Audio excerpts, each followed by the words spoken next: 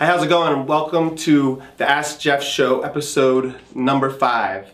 So we have some brand new questions this week. The first one comes from Carlo, and he wants to know that if Facebook were to go away, what would you do for marketing and lead generation?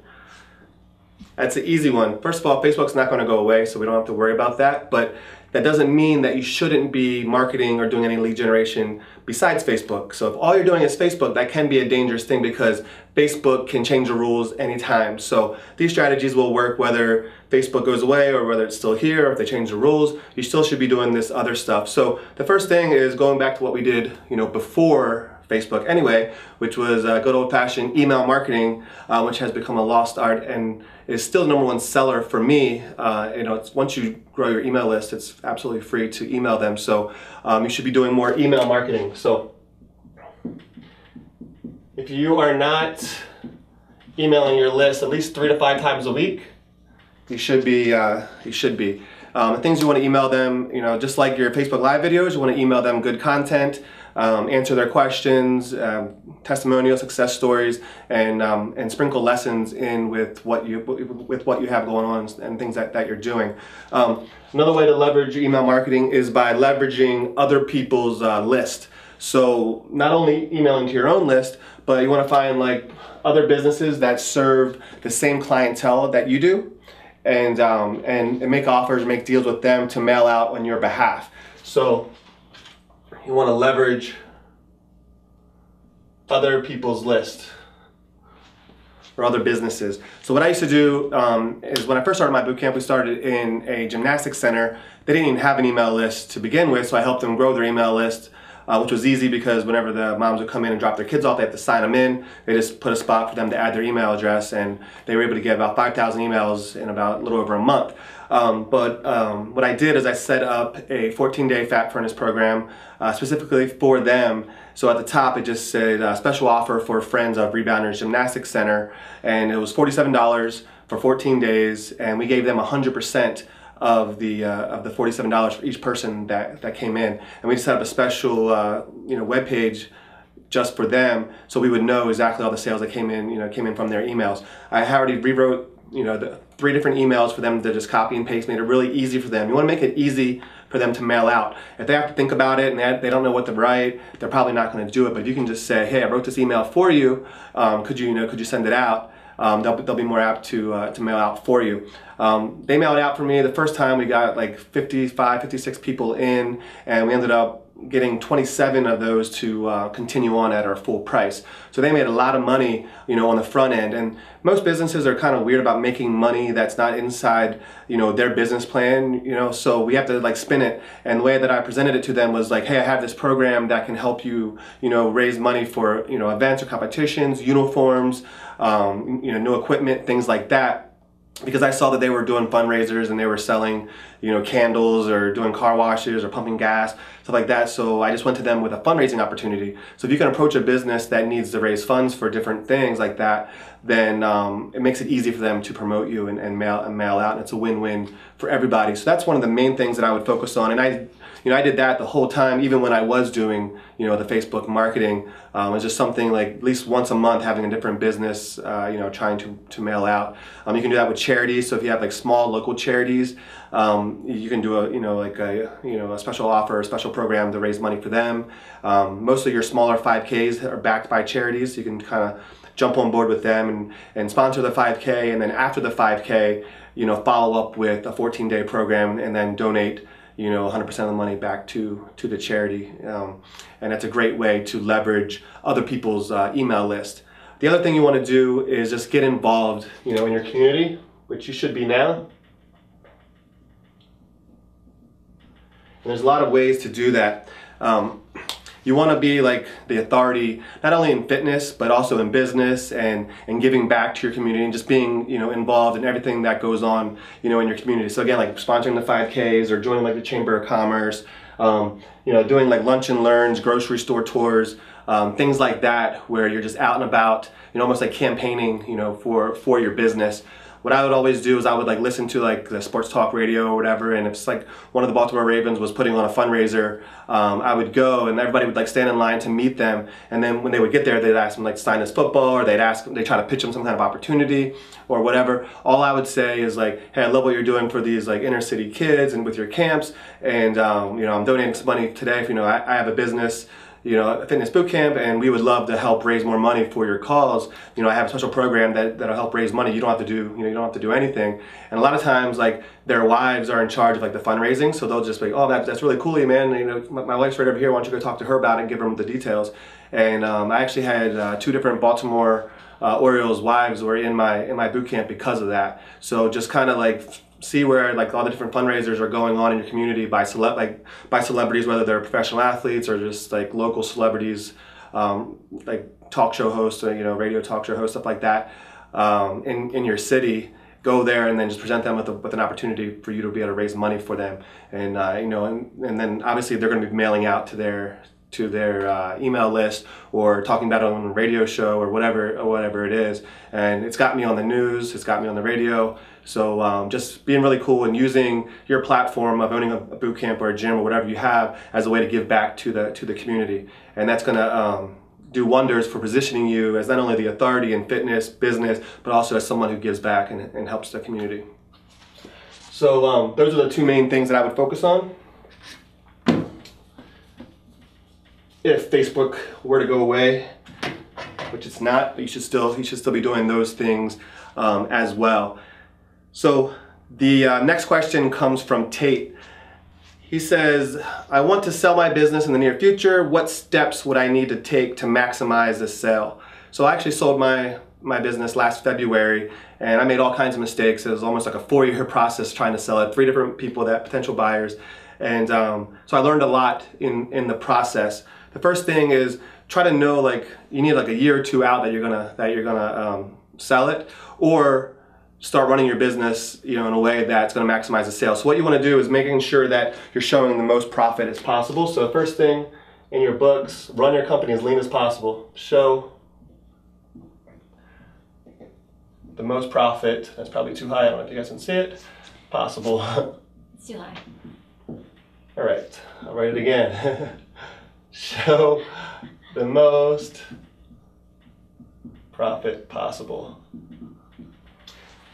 So like what I did wrong is, uh, you know, I was joining like Bedros' mastermind group at the time and traveling all over the place to seminars and learning marketing, and um, I was writing it off through through my boot camp, and um, the first couple years I was actually running at you know at a negative because I was spending sixty to eighty thousand dollars a year on travel and and coaching and events and stuff like that, and um, that really made it you know look like it was super expensive to, to you know to run the boot camp um, when I was trying to sell it, I had to explain that to uh, you know the, the potential buyer kind of understood that, but then their accountant, all they look at is a P&L, and they're like, you know, this company's not worth anything because you know it costs way too much, you know, to run it. Tried to explain to them, and maybe some of them got it and they understood, and they're like, okay, that's fine. But then when they when the potential buyer went to the bank to try to get a loan, they want to look at that as well, and then you have to explain it to the bank, and that doesn't go over so well. So it made it really hard for people to get a loan to be able to buy my business, um, even though I was able to explain why it was uh, costing so much, you know, to run it. So make sure that you're running, you know, the business as lean as possible, and make sure that, that your books are really, really clean.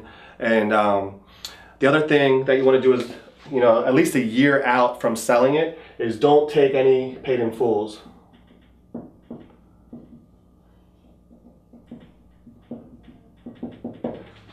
The reason for that is because you're collecting the money for a year up front. Um, so we had about 60 people out of like 258 members, like 60 of them that were on paid in fulls.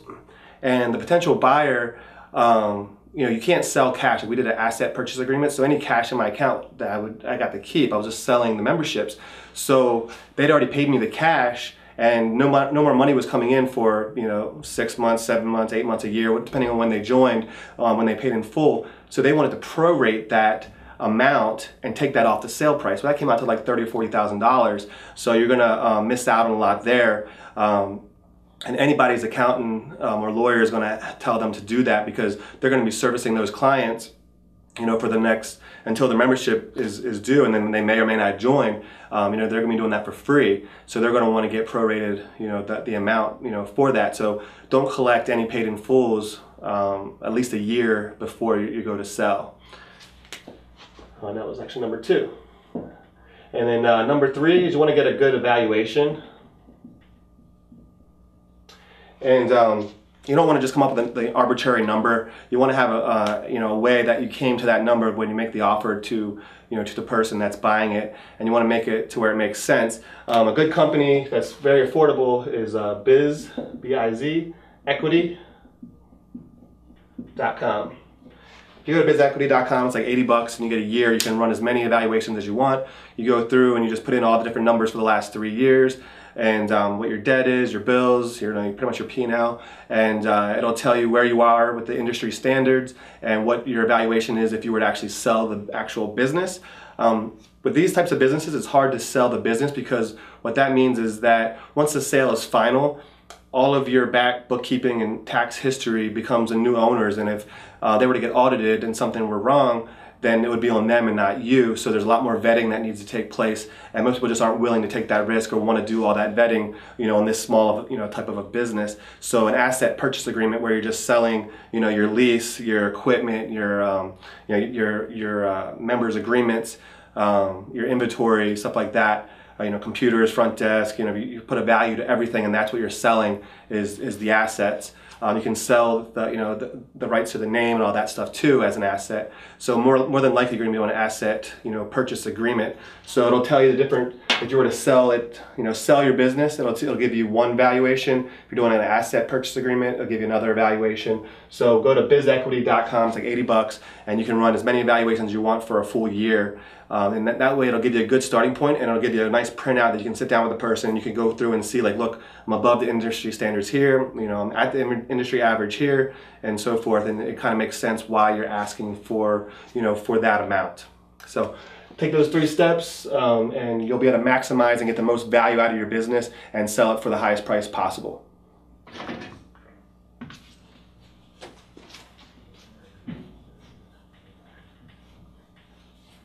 And one other uh, quick tip is um, even though I was like traveling a lot and spending all that money on seminars and coaching and stuff like that, um, that was you know a great thing to do. It was just bad that I you know used my debit card for my gym. So what I ended up doing after that is I just got a um, credit card, personal credit card, and just put it all in there, and then just wrote it off in my taxes personally. Um, that way, it didn't show in my books. So that's so you can still you know, hire coaches, go to events, and write that stuff off. Just get like a you know a credit card that's, that's just designated just for that, and then um, that way it's easy to keep all the you know all the transactions separate, and then write that off uh, personally. So that's another uh, another tip. So you can still travel and still go to events and stuff. Cool. So one more one more question. Uh, this one's from Jay. He says he's looking for a new location. Uh, do you have any tips for finding a location and negotiating a lease? Cool. So whenever you try to find a new location, what, what all I would usually do is like I never got like a you know an agent or anything. Um, if it's hard to find you know empty spaces in your area, then an agent might be good because they might know ones that are coming onto the market. So um, my my area, there's always plenty of uh, you know locations to to look at and to choose from, um, which can be good or, or, you know or bad. But if there's not if there's not very many available, then I would I would recommend hiring an agent because they may know um, some of the building owners. They'll know when some leases are coming up, and they'll be like, "Hey, this place isn't available yet, but in three months, you know, will be." Stuff like that. So an agent is helpful there. Um, but if there's you know if you see locations with signs in the windows, you don't really need need an agent. Uh, so what I would do is just drive around town and take pictures of the locations, put their addresses down, get as many, you know, make a make as you know as big of a list as you can. So one is just, you know, make a list of all the potential locations. And um, make a list of all the potential locations. And once you have like six, seven, maybe up to 10, you're gonna go through and say like this one, like in a perfect world, this one would be the one I want. If that one doesn't go through, then I would want this one. So, you know, second. If that one, next one would be, you know, third, fourth, on down. And then you're gonna go and you're gonna call the, um, the, you know, the last one, the one that you want the least first. You're going to call them first and um, talk to the, you know, to whether it's the building owner or the building manager, you know, the leasing company, whoever it is, and uh, they might ask you for some financials or whatever before they even start talking to you. So you get all this stuff together, and whatever questions they have, you might not be ready or prepared to answer them, which is fine because you don't really care if you get it or not. So you can kind of fumble through it and look like you don't know what you're doing, and that's totally cool. Um, but get it all together, go through the process, even though you really don't want that one, um, and then start the negotiating process as well. And whenever, you, whenever you're going to negotiate anything, you always want to ask for more than what you would settle at because the way that it works is everybody is has to give, you know, in order to negotiate. Unless it's like a big, you know, uh, a big real estate company or leasing company that just doesn't care and they have tons of money and their places go by really quick and they're just like, hey, this is the this is what it is and there's no negotiating. They'll, they'll tell you up front there's no negotiating. Then it's up to you to decide whether it's worth it or not for that for that location. But what I look for is like um, a single owner, like an old timer who used to be an entrepreneur, so he kind of sees himself in you, um, and bought the building, you know, and then he retired, and then he just started leasing, you know, leasing the building out when he was in his retirement. Um, those have been my best landlords over the years. Um, somebody that used to be an entrepreneur, they can kind of see themselves in you and give you a break and help you out, and they're willing to, willing to work, you know, work with you. So I would recommend trying to find um, a building or a location that has an owner like that as opposed to like a bigger company because bigger companies are hard to deal with. But either way, when you go in, you want to ask for like the moon. So if you only want need three months of ramp up time, don't ask for three months of ramp up time. You're going to ask for six. So um, make a list. You know, you're going to visit them or go to them in reverse order. And uh, and then when you go to negotiate, you're going to ask for you know more than what you would settle for. So ask for six months. Ask for a shorter lease, even though a longer lease is actually better. Most places don't want a longer lease. Uh, I mean, they don't want a shorter lease. They want more security. Uh, most places are going to want like a five-year lease with like five one-year options. Um, is what most places want. So I would go and ask them for a one-year lease with like five one-year options, um, just to kind of be crazy and knowing that they're not going to accept that. But then they might come back with a two-year, you know, with you know five one-year options or something like that. Um, but uh, anyway, the reason that you do that is because if you ask for six months of build-up time and they say, well, I can't do six, um, we can only give you three, you never want to say, okay, that's you know three works for me, even if that's what you want, because then you you know you've accepted without asking for something else. So instead, you say, well, three could work, you know, if I could get you know this you know a shorter lease, you know, the two-year lease instead of a five-year lease or whatever. Just in case I outgrow the place and I want to move on to somewhere else, you know. So um, so you could you, you want to do like a give and take. So if they say, well, we can't do a two-year lease, um, then you can say, well, I could do five-year lease, um, but then I need six months of ramp up time because I'm putting all my money into the build out, and if I'm going to be here that long, you know, I want to make sure that I have enough time to, you know, to get everything, you know, set up and, and running efficiently. So then you would ask for more months in exchange for the more years. Uh, so it's always a give and take. Never just say okay when they say no to something without saying okay, that's fine, but then if you know that's fine if I can do this or that's fine if you can do that, and that's going to help you out in, in the negotiating process. But you want to go to um, the ones that you don't want first. Start, start the negotiating process. See what they're willing to give you. You know, make notes on um, what if they said, yeah, I'll give you six months. Yeah, I'll give you a two-year lease. Um, yeah, we'll pay for some of the build out. Whatever it is, you know, make that list and um, get them whatever paperwork they need, financials, you know, credit history, whatever, and then go to the next place, do the same thing. Go to the next place, do the same thing. So by the time that you get to the one that you really want, you have all the paperwork ready. You're walking in there, and if they ask for it, like, yeah, I got it right here. You pull it out of your briefcase or your back, your bag or whatever. Like, oh wow, this guy, you know, he knows what he's doing. He's not fooling around. And then you can also play the other ones off of the, off the one you want. So if they're like, oh, I can't really give you, you know, the three months ramp up. You can only do like a month, and um, and then you can say, okay, you know, I really wanted to, you know, I really love your facility the best and would love to come here first, but the guy, you know, down, at, you know, and say say the address because all the building owners know who what's available. So when you like call it out, like over on you know whatever street, um, he's willing to do this, and you know if you could just do this one thing, then I would I would go with you. So you can kind of play them off off the other people. They don't they don't want to lose you to a, to another you know another realtor, another leasing company, or another building. So. Um, you're going to go into the one that you want, looking way more professional, being way more, more prepared, knowing the right answers. Because when you leave the other ones, you're going to like, oh man, when he asked me this, I, I know I should have said that, but I said the wrong thing. So the next time you're, you're prepared, you're ready, and you're ready with the right answer. So um, that's basically basically it when it comes to negotiating. Is and um, you know go to them in reverse order, and that's just a learning process. So by the time you get to the one you want, you're well prepared. You look like you know what you're doing Um, this also goes for like if you're trying to get a loan from a bank, same thing. Go to like five banks that you don't want to get the loan from and don't have the best deal, and they'll ask you for what paperwork they need, your credit, you know, this, that, or whatever. Um, and then you go and get it, you get it all for them. And if, if you get approved, you don't have to accept the loan. You can go to the next one, the next one. And when you get to the bank that you want, you already know the answers to all the questions. You already already have all the paperwork that, that they need and what they want. And you have that much better of a chance of getting the loan through the bank that, that you want. So you can do that for loans um, as well. But um, just to recap, go through your town, make a list of all the potential places, go to them in reverse order of the one that you don't really want the, you know, the one that you want the least, go there first, work your way up to the one that you want the most. Use that as leveraging power um, when you go to talk to the, the, to the landlord of the building that you want. Uh, play off the other ones, be like, well, so and so at this location is willing to do this.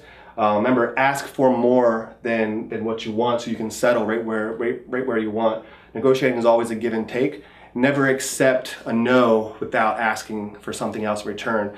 You know, so again, like if they say, no, we can't do six months of ramp up time, we can only do three, like, okay, three months will work if you can do, you know, if you can pay for some of the build out because, you know, I, I need to um, keep my, you know, my, my uh, operating capital up to be able to get up to speed faster, you know, because I don't have the six months.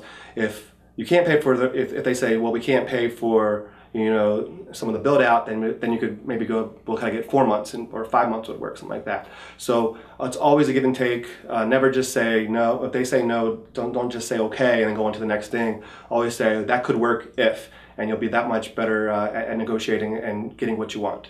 And that's pretty much it for this week for the Ask Jeff show. If you have any questions, make sure you, you know ask them below or send me a message, send me a private message to my page. Uh, I'll be more than happy to answer them there and then also bring them on the show as well. So thanks. I'll see you guys next week.